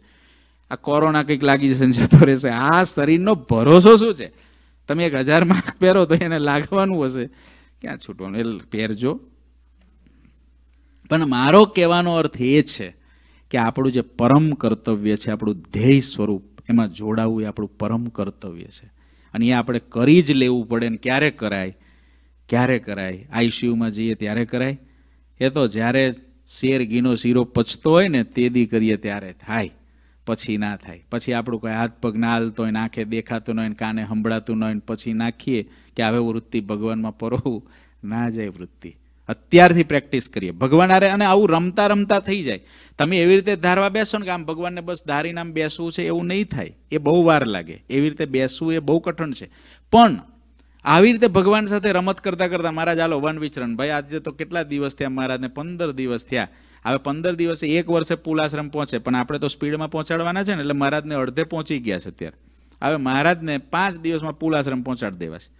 અને પુલ આશ્રમ. ને આપણે તો સર્વિસ આપવાની. મહારાજને ચાલવા નહીં દેવાના. મહારાજ મારા ખભા પર બેસી જાઓ. હાલો. મારા ખભા પર બેસી જાઓ. હું તમને લઈ જાઉં. મહારાજને ખભા પર બેસાડીને લઈ જઈએ. મહારાજને ઉપાડીને લઈ જઈએ. ક્યારેક મહારાજની આરે ચાલતા ચાલતા, વાતો કરતા કરતા જઈએ અને રોજ રસ્તો કાપીએ. એવા અનેક પ્રકારના ભગવાન સાથે રમવાની ઘણી બધી રમતો છે. ભગવાન સાથે રમી શકાય એવી ઘણી બધી રમતો છે. આપણને બીજું બધું રમતા ઘણું આવડે છે. કલ્પનાઓ કરીને આ દુનિયાના કેટલાય ખેલ કરી નાખીએ. રાજા ના હોય તો વિચારે, રાજા હોવ તો? નથી બોલો નિબંધ પૂછાતો આપણે બનતા હોય ત્યારે, હું પુષ્પ હોઉં તો? પણ હોય જ નહીં, શું પુષ્પ હોઉં તો? હું જો પ્રધાનમંત્રી હોઉં તો કોઈ દી થવાનો જ નથી ભાઈ, હું કરવા કલ્પના કરે છે? પણ ભગવાનનો મુક્ત થઈ જઈશ, ભગવાનનો ભક્ત થઈ જઈશ ભગવાન હારે રમતો થઈ જઈશ, એ વાત નક્કી છે. એટલે એવી રમતો આપણે મુમુક્ષુ છીએ, આપણે કરવી જોઈએ ભગવાનની કૃપાથી, મોટા સાધુની દયાથી. ભગવાને હાથોહાથ પોટલું લીધું, સભામાં વસ્ત્રો ધારણ કર્યા, મંચ ઉપર ભગવાન પછી આવીને બેઠા. પછી મહારાજ એવું બોલ્યા, મહારાજે કહ્યું, સાંભળો હરિભક્તો, કોઈને સમજાયું નહીં કે મહારાજ ઊભા કેમ થયા આજે? કોઈ દી આવી રીતે બહેનોને સભામાં જઈને આજે જ ગયા. પછી મહારાજ આમ બધા આમ અંદર અંદર ઘૂસપૂસ કરવા લાગ્યા. કોણ છે આ? કોણ છે? મહારાજ કોઈ દી ઊભા નથી, આજે થયા? આવું તો તરત પાછી ચર્ચા ચાલવા જ માંડે ને. હું મારા જે પહેર્યું છે એ તો આપણે, થોડું તો હોય, આપણા જેવો થોડોક માલ તો ક્યાંક બેઠો હોય. કેમ કે મહારાજ આવું ઊભા થઈને ગયા.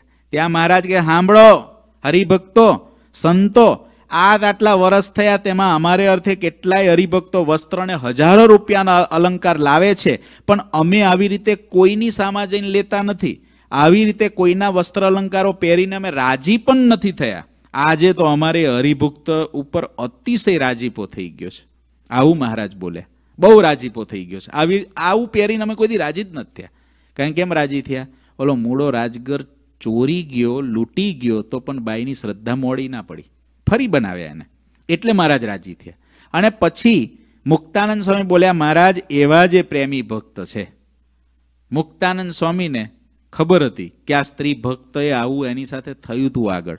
એટલે સ્વામી બોલ્યા, મહારાજ, એ પ્રેમી ભક્ત એવા જ છે. કારણના છઠ્ઠામાં વર્ણન છે. એવામાં એ સભામાં દીનાનાથ ભટ્ટ આવ્યા. દીનાનાથ ભટ્ટ આમોદના આવ્યા. મહારાજને પગે લાગીને બેઠા. મહારાજે પોતે પાસે બોલાવ્યા, ભટ્ટજી, આવો આવો. અને મહારાજે એક પછી એક વસ્ત્ર અલંકાર ઉતારવા માંડ્યા. લીલા તો જુઓ તમે, ઓલી પ્રેમાબાઈ એક વખત એના લૂંટાઈ ગયેલા વસ્ત્રો અલંકાર ફરીથી બનાવીને લાવી છે અને મહારાજે આમ ઉતારી ઉતારીને આપવા માંડ્યા દીનાનાથ ભટ્ટને. વખાણ્યા તરત જ ઉતારીને આપવા માંડ્યા હવે આપણે કદાચ બીજી વખત શ્રદ્ધાથી બનાવી તો દઈએ, પણ આવી રીતે જો ઉતારવા માંડે તો? તો આપણે શું વિચારીએ? ખરા છે, મહારાજે, પણ કંઈક ખબર તો હોવી જોઈએ ને મારે કેટલી મહેનત પડી છે. આવો સંકલ્પ ચાલુ થઈ જાય? પ્રેમાબાઈને કાંઈ સંકલ્પ ના થયો. દીનાનાથ ભટ્ટને આપ્યા. પ્રેમાબાઈને કોઈએ કીધું, તું ઠેક દીવથી હાલીને આવી માથે પોટલું મૂકીને મહારાજે વસ્ત્રો પહેર્યા ને પ્રેમાબાઈ કે, બસ, મહારાજે એક વાર આની પર દ્રષ્ટિ કરી પહેર્યા ના હોત ને, અને મહારાજની આની પર દ્રષ્ટિ થઈ હોત ને, તો હું પાવન થઈ ગઈ. મારી મહેનત તો સાર્થક. મહારાજ રાજી છે ને મારી પર. બસ. એને મહારાજને વસ્ત્રો મેં તો આપી દીધા. મહારાજે વસ્ત્રો અલંકાર તરત જ ઉતારીને દીનાનાથ ભટ્ટને આપી દીધા. પ્રેમાબાઈએ આ જોયું ને, તો પ્રેમાબાઈને એની અંદર મહારાજની નિસ્પૃહિતાના દર્શન થયા. કે મહારાજ કેટલા નિસ્પૃહ છે. મહારાજને કશામાં આસક્તિ નથી, મહારાજને સોનું ગમતું નથી, વસ્ત્ર ગમતા નથી. મને રાજી કરવા મહારાજે પહેર્યા, બાકી મહારાજે આ તરત કાઢીને આપી નાખે, આપી દીધા. એટલે મહારાજને કોઈ જગ્યાએ પ્રીતિ નથી. મહારાજે કહ્યું, અમારી નજીક અમારા જે મૂળજી બ્રહ્મચારી સોમલો ખાચર છે, એ જાણે છે કે મહારાજ તો આકાશ જેવા નિર્લેપ છે. બીજાને શું ખબર પડે? મહારાજ કહે કે અમારે તો ભાર નામે રૂમાલ રાખવો ગમે નહીં. એક બાજુ પર આવું કે અને એક બાજુ પર દાદા ખાચરને કે તારો ગરાસ તારો ગરાસ અમારા નામે લખી દે, હાલ. હું ખબર તું ક્યારે કાઢી મૂકે? હવે એક બાજુ કર કે બહાર નામે રૂમાલ રાખો ગમે નહીં. એક બાજુ પર ગરાસ લખાવે. તો કેવી રીતે પ્રતીતિ આવે કે આ ભગવાન સાચું બોલે છે? કેવી રીતે પ્રતીતિ આવે? એક બાજુ પર એવું કે કે અમને વસ્ત્ર અલંકાર ગમે નહીં અને એક બાજુ પર પેલી ભક્ત ચિંતનના પરચા વિભાગમાં છે કે કસુંબી વસ્ત્ર મહારાજ નથી પહેરતા એમ નહીં. કસુંબી વસ્ત્ર મહારાજને ગમે છે. કાલના જ પરચાના અંદર એ પ્રશ્ન છે મને લાગે. કસુંબી વસ્ત્ર પહેરે છે. તો એ એ પરચાન અંદર છે જ કે આવું. તો મહારાજને નથી ગમતું, પણ અંગીકાર કરે છે. બહુ અઘરું છે. ગોપાળન સ્વામીને રસોઈ નથી ગમતી, પણ દૂધપાકને માલપુઆની રસોઈ જમ્યા. અઘરું છે. સત્વ ગુણાત્મકને ઓળખવા સહેલા છે. ગુણાતીત અને ગુણાતીતથી પર પુરુષોત્તમ એને ઓળખવા અઘરા છે. બેને ઓળખવા બહુ અઘરા છે. જે ખરેખર ગુણાતીત હોય, જે ખરેખર અક્ષરમાંથી જ અહીં આગળ આવેલા હોય, એવા મુક્તાત્માને ઓળખવા અઘરા છે અને પુરુષોત્તમ નારાયણને ઓળખવા અઘરા છે. આ બેને ઓળખવા અઘરા છે. સત્વગુણ હોય ને, શુદ્ધ સત્વવાળો, એને ઓળખવો સહેલો છે. કારણ કે એનું બધું શુદ્ધ સત્વમય હોય કાર્ય, એટલે ઓળખાય છે. પણ પુરુષોત્તમ નારાયણ ના ઓળખાય. બહુ અઘરા છે. મહારાજે ત્યાં આપ્યા. પછી ત્યાં થોડા પ્રશ્નો થયા. મુક્તાનંદ સ્વામી, બ્રહ્માનંદ સ્વામી આદિ કે મહારાજ સાથે પ્રશ્ન પૂછ્યા. એની અંદર એવો પ્રશ્ન પૂછ્યો કે ભગવાનના ભક્તના કયે ગુણે કરીને રાજી થતા હશે? ભગવાન ભક્તના કયે ગુણે કરીને રાજી થાય? ત્યારે મહારાજે કહ્યું, જે ભક્ત બીજા ભક્ત સાથે ઈર્ષા મત્સર ન રાખે અને કેવળ રાજી કરવાના તાન રાખે, તેના ઉપર ભગવાનની પ્રસન્નતા થાય. ઈર્ષા અને મત્સર જે ના રાખે ને, એની ઉપર રાજી થાય. અને મહારાજ કે, જે મત્સરવાળો હશે, તેને તો અમે આ ભટ્ટને વસ્ત્ર આપ્યા, તેમાં પણ મત્સર આવ્યો હશે. અને મત્સરવાળો હોય એને વિચાર ન આવે કે વસ્ત્ર લાવ્યા હતા તેને ધન્ય છે. આવા ભારે વસ્ત્ર શ્રી હરિને પહેરાવ્યા અને શ્રી હરિને પણ ધન્ય છે કે એને બ્રાહ્મણને દઈ દીધા. કોઈક લે અને કોઈક દે, પણ મત્સરવાળો હોય તે ઠાલો ઠાલો વચમાં બળી મરે. આ મહારાજે કાર્યના છઠ્ઠામાં કીધું છે. ઈર્ષા મત્સર દોષ છે મોટા. મોટા મોટા ને કરે છે છોટા. રાજીપો એક લક્ષ્ય બંધાય.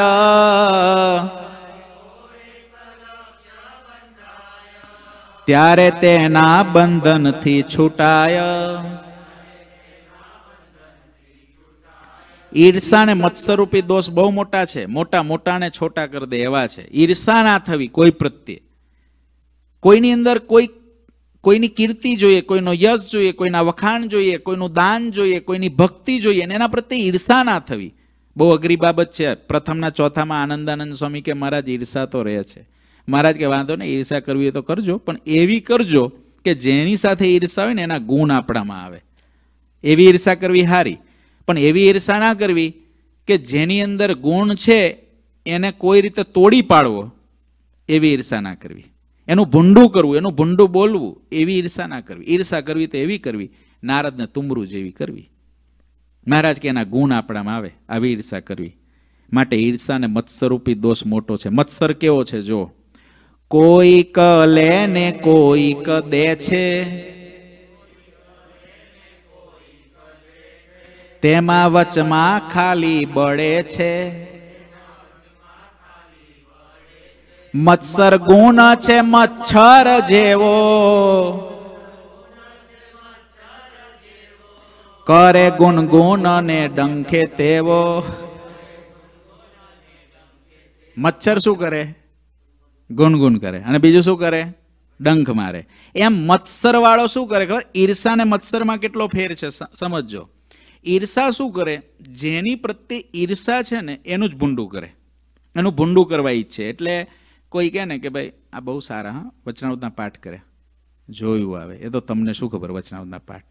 બાકી બીજું બધું તમને ના ખબર હોય ને. તા ભાઈ, તું કે, હાલ એ ઈર્ષા. કોઈનું કંઈક સારું છે, એની અંદર એનું ખરાબ દેખાય એવો પ્રયત્ન કરે, એના નામ ઈર્ષા.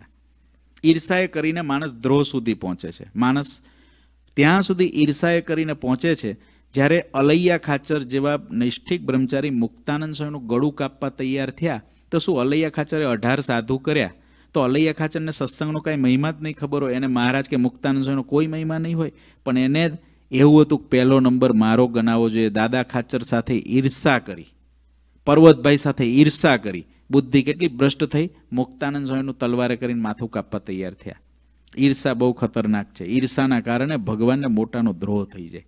ઈર્ષા એવી વસ્તુ છે. બીજી વસ્તુ મત્સર. મત્સરમાં કેવું છે? ઈર્ષા કરતાં થોડુંક જુદું. કોઈક આપે છે ને કોઈક લે છે. હવે એમાં ભાઈ આપણે શું? કોઈકે દાન કર્યું અને કોઈકે દાન લીધું. કોઈકે કોઈકને ઉછીના રૂપિયા દીધા, ઓલાએ લીધા ને આને દીધા. હવે આને કાંઈ લેવા દેવા નથી. એને ઘરનું કાંઈ દીધું નથી. પણ એને ખબર પડીને શું કરવા દેતા હશે?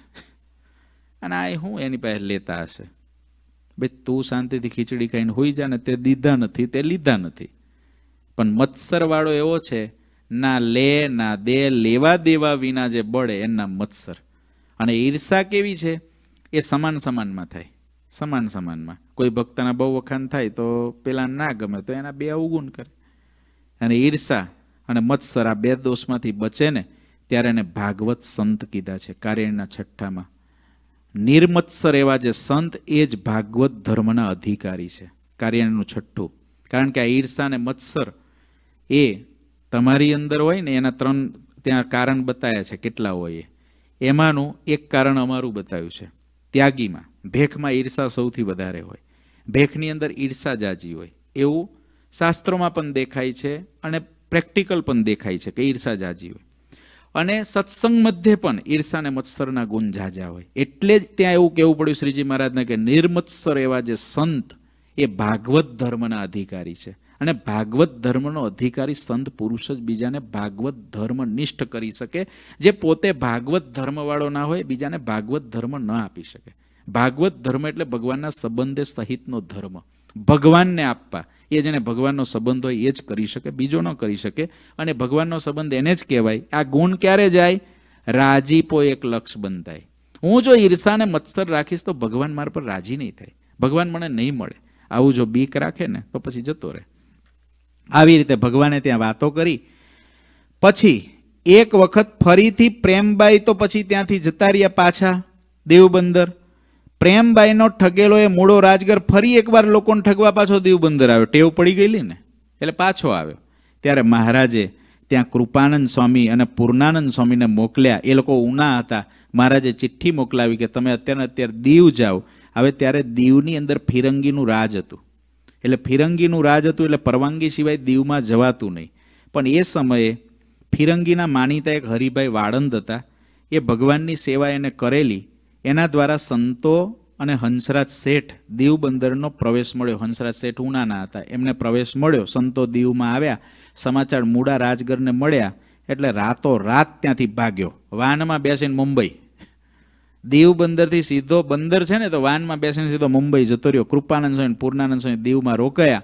હરિભક્તોને પછી બધી વાતો કરી. કારણ કે આ મૂળો રાજગર શું કરતો હતો? એ એવું કહેતો હતો ત્યાં જઈને કે ભગવાન સ્વામિનારાયણે જે બધા નિયમ કર્યા છે કે સ્ત્રીઓને જુદું બેસવું, પુરુષોને જુદું બેસવું, સાધુથી સ્ત્રીઓને દૂર રહેવું. પણ હું તો એ પ્રકારનો છું કે મારી નજીક તો બધા આવી શકે. આવો એને ધર્મ ચાલુ કરેલો. એટલે સંતોએ પછી બધાને ધર્મ નિયમ સમજાવ્યા કે આપણા સંપ્રદાયની આ રીત છે, આવી રીતનો કોઈ પણ વ્યક્તિ આવે તો એના પેચમાં ફસાવવું નહીં. એ પ્રેમાબાઈનો સાસુનો એક ગુરુ, એક બાવો હતો. બહુ ચાલાક હતો એ ઠગ હતો. તે પ્રેમાબાઈને છેતરવા માટે ઘણા ઉપાયો એને કરેલા. એ વખતે બાવો પ્રેમાબાઈની સાસુની સંમતિ મેળવીને એને ઘેર ભગવાન સ્વામિનારાયણનો પાર્ષદનો વેશ લઈને આવ્યો. બોલો, કેટલી વાર આ બાઈને છેતરવા આવ્યા? એનો સત્સંગ મુકાવા. ભગવાન સ્વામિના પાર્ષદનો વેશ લીધો. ત્યાં રે, પ્રેમાબાઈને ઘેર ઉતરેલો. પણ કોઈ રીતે પ્રેમાબાઈને એમાં પ્રતીતિ ના આવે. પેલી સંતોએ વાતો કરી દીધેલી ને કે આવી મર્યાદા હોય ને આ બધું હોય એટલે. પછી મહારાજે પ્રેમાબાઈને ઘેરા ઉતરેલો તો પ્રેમબાઈ ઉપર શ્રીહરિ એક પત્ર લખીને મોકલ્યો. પત્ર લઈને સોમલા ખાચર ને ભીમભાઈ બે જણા ગયા. દીવ આવ્યા, સત્સંગોને મળ્યા, પછી પ્રેમાબાઈને ઘેર ગયા. પ્રેમાબાઈએ એમનું સ્વાગત કર્યું, ભોજન કરાવ્યું. સોમલા ખાચરે મહારાજનો પત્ર આપ્યો. શ્રીહરિએ કહેવડાવ્યું કે અમારું નામ લઈને કોઈ પણ માણસ આવે ને, તેને તમે ઓળખતા ના હો ને તો ઉતારો આપતા નહીં. આવું મહારાજે કહેવડાવ્યું હતું. એટલે આ વાત સાંભળીને પ્રેમાબાઈએ કહ્યું કે અમારે ક્યારેક પાર્ષદ આવ્યા છે મહારાજના. ઘણા સમયથી રહે છે. ઓલા કે એટલે જ આવ્યા છે, પાર્ષદ નથી, એ બાવો છે તારી સાસુને, તારી સાસુ માને એનો. અને પછી જ્યાં આ બાજુ ખબર પડી, સોમલા ખાચર કે કાંઈ વાંધો નહીં, અમે બાવાને સમજાવી દઈશું. તમે ચિંતા ના કરશો. ત્રણ દિવસ રોકાયા. એક દિવસ બાવાને એકાંતમાં લઈ જઈને ધમકી આપી સોમલા ખાચર. મરી ગયો કે જો, આ તો પાર્ષદ હતા, આને શું? સોમલા ખાચરને બધા સિંહ જેવા, પેલો ભાગી ગયો. પછી પ્રેમાબાઈને રજા લઈને ગઢડે પાછા મહારાજના દર્શન કરવા લાવ્યા. આવી રીતે આ પ્રેમાબાઈ બ્રાહ્મી સ્થિતિને પામી ગયેલા. એ વારે વારે જુનાગઢ પણ જતા સદગુરુ ગુણાતીતાનંદ સ્વામી ઉના જાય કૃપાનંદ સ્વામી ઉના જાય ત્યારે કથા વાર્તા સાંભળતા આવી રીતે બ્રાહ્મી સ્થિતિને એ પોતે પ્રેમાબાઈ પામી ગયા. ઓગણીસો ને બાવીસમાં આચાર્ય ભગવત પ્રસાદજી મહારાજ જ્યારે ઉના પધાર્યા હતા, ત્યારે એ જમાનાના બસો રાડ એટલે છસો રૂપિયા ઠાકોરજીની સેવામાં અર્પણ કરેલા અને પોતે નવ્વાણું વર્ષની ઉંમર સુધી પ્રેમાબાઈ આ પૃથ્વી પર રહ્યા હતા, નવ્વાણું વર્ષની ઉંમર સુધી. અને વૃદ્ધાવસ્થામાં પોતાની બધી જ મિલકત ઉના મંદિરને અર્પણ કરી દીધી અને ભગવાને ઓગણીસો ને સત્યાવીસ, વિક્રમ સંવત ઓગણીસો ને સત્યાવીસમાં પ્રેમાબાઈને, ઉનાને વિશે પ્રેમાબાઈ હતા અને ત્યારે પ્રેમાબાઈને લેવા માટે મહારાજ આવ્યા. દિવ્ય ચમત્કાર બતાવી બધાઈને કહીને કે આ મહારાજ મને લેવા આવ્યા છે અને પછી મહારાજ એને પોતાના ધામમાં લઈ ગયા. ભોળાના હોય સદા ભગવાન. જાળવી રાખે ભક્ત પ્રતિપાળ. ચિંતા રાખે હંમેશા તેની નાથ. વારે વારે દોડે મહારાજ. વારે વારે દોડે મહારાજ. આવી રીતે પ્રેમાબાઈને મહારાજ પોતાના ધામમાં લઈ ગયા. વાલા ભક્તો પ્રેમાબાઈના ચરિત્રથી આપણા જીવનની અંદર ભગવાનમાં હેત થાય, ભગવાનને વિશે પ્રીતિ થાય, ઈર્ષા અને મત્સરરૂપી દોષ આપણા જીવનમાંથી વિદાય થાય અને મહારાજનો અતિશય રાજીપો થાય, એવું લક્ષ્ય આપણે બાંધીએ. એટલું આ સ્ત્રી ભક્તના ચરિત્રમાંથી આપણે શીખવા જેવું હતું. અહીંયા આગળ આ ચરિત્ર પૂર્ણ થાય છે. બોલો શ્રી ઘનશ્યામ મહારાજની જય શ્રીપતિમ શ્રીધરમ સર્વદેવેશ્વરમ ભક્તિધર્માત્મજમ વાસુદેવમ માધવમ કેશવમ કામદમ કારણમ સ્વામિનારાયણમ નીલકંઠમ. ભજે શ્રી ઘનશ્યામ મહારાજ.